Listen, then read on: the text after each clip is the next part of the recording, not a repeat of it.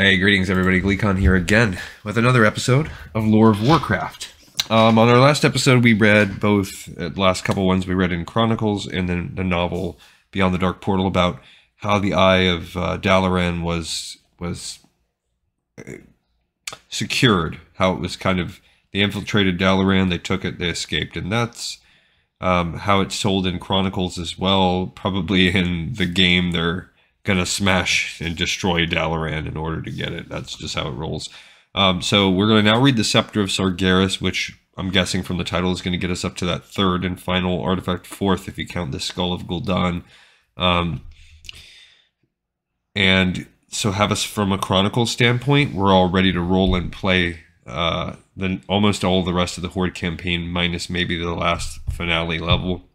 Um, and I think we're probably going to get to read this uh, concurrent chapter in the novel. So We'll get that next episode out, but stay a while and listen to The Scepter of Sargeras. The third hunting party could not make the journey to the tomb of Sargeras entirely on the backs of black dragons. The distance was immense, and there were no islands en route where their creatures could land and rest. Even for Deathwing's mighty servants, such a journey was beyond their ability. The hunters needed to find another way to reach the tomb. They settled on stealing ships from the same harbor where War Chief Doomhammer had overseen the construction of the Horde fleet. The site had fallen under Alliance control and been renamed Menethil Harbor in honor of Lordaeron's king. There were plenty of ships, but many of them were Alliance vessels under the command of Admiral Daelin Proudmoore. All right, and here you go as well. You're they're an Alliance vessel, so Kul is still part of the Alliance at this point in time, unlike what it says in the actual game text. Also, we probably should have waited to do those last couple C missions until we got here, but it, it's fine. We're not really that that stuff was not even it's only tangentially like canon anyway. Despite the risks, the hunters had little choice but to take ships. Their only advantage was the element of surprise. The Alliance Navy would certainly not expect to fight black dragons and members of the Horde. In that, the hunters were wrong. When Gorefiend had set out on his quest, he had been followed. Garona had kept her distance, observing the Death Knight's pact with Deathwing. When the hunting parties had separated in three directions, Garona had to choose which to follow. She had shadowed the group that traveled to Menethil Harbor, believing that it was seeking out the tomb of Sargeras. She was right. As the hunting party planned its assault on the harbor, Garona went to work. She could not warn the humans directly, they would not listen to an orc, but she knew their language well. She scrawled a note to warn about the impending attack, and she made sure the Alliance would find it. It was a simple matter. She showed herself to the harbor's guards, and when they gave chase, she dropped the missive and ran.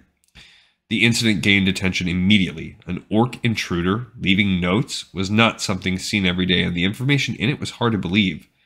Yet, when the black dragons swooped down a few hours later, the humans were not completely unprepared. A bloody confrontation erupted in the harbor, and the hunting party only managed to steal a few small, slow ships. They sailed them clumsily out to sea, while the Black Dragons burned any vessels that attempted to pursue. Garona was unable to follow. She traveled as quickly as she could back to the Blasted Lands to tell Khadgar what had happened. All right, so all of that is fine, except the humans didn't get a warning from Garona they got it in the spur of the moment warning since a bone chewer started eating some dude's legs alive. Um, but other than that, it doesn't really change what happened. They stole a few chips, ships. The dragons burned anyone that tried to pursue. Okay, so it's a small detail, but it sounds like they are they have retconned Garona's involvement a lot more. Even though in the last Guardian she was a big part of that. Uh, so I don't know yeah, she just sort of fell off. She was like an afterthought um, during the time of these two novels.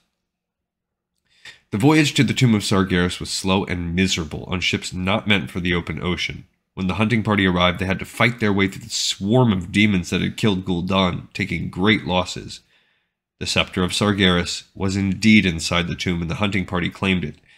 It was well worth the journey. The artifact's ability to open rifts in the fabric of reality would make it critical to Ner'zhul's efforts back on Draenor. Only a scant few members of the hunting party made the journey back to the Eastern Kingdoms. When the hunters finally reunited with Gorefiend at the Dark Portal, the Death Knights made preparations to return to Draenor. Deathwing had already brought them enormous carts loaded with his precious cargo. The objects were heavy, large, and enchanted. Mortal eyes could not see what lay within the crude containers, and magical energies seemed to have no effect on them. The contents were of little concern to Gorefiend. He only wanted to finish his mission. Deathwing was satisfied. The Horde would carry a huge clutch of black dragon eggs to Draenor, and soon he would join them to oversee the re- rebirth of his dragonflight. And I wonder if those become the Netherwing dragon eggs, because um, otherwise there should be no dragons on Draenor. So that kind of makes sense. Also, we are like fully primed because the last mission of the Horde campaign is they bust their way with with the artifacts back through the dark portal and hightail it back to Draenor, and then Ner'zhul uses that stuff. And I know he abandons a lot of the Horde on Azeroth as well, which is why you have so much Horde still there, ready to do Warcraft 3 and Beyond the Dark Portal and all that stuff. All right, so we got this episode in the pipe 5 by 5 Catch everybody next time on Lore of Warcraft. Thanks.